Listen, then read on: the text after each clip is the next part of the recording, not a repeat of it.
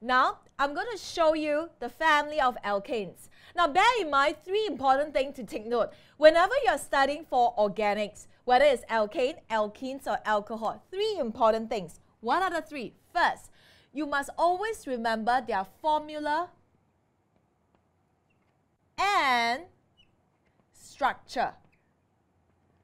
Formula of the alkanes and the structure. How do you draw them? Okay. Second, you need to know their physical properties.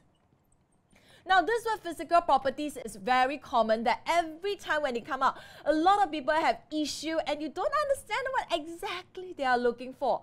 Physical property means the behavior of that substance or the compound, how they behave in normal condition, right? So, for example, I'm talking about their boiling point and their melting point, okay?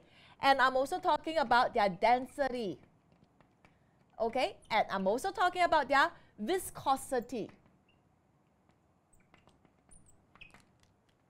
So these are all these are all the physical property. Now, sometimes you can even talk about their electrical conductivity. Okay, but for this, because they are all organic and they are non-metals, non-metals, they are covalent compound, the chances of them conducting electricity is really low. So I'm not going to write it here. Um, next one. Now, if I have physical properties, obviously you will lead me to Yes, you are right. Chemical properties. So, as I guide you to learn about organics in alkane, alkenes, alcohol, and carboxylic acid, I'll be touching on these three parts. We will keep running on through these three parts. So, bear in mind three things, okay?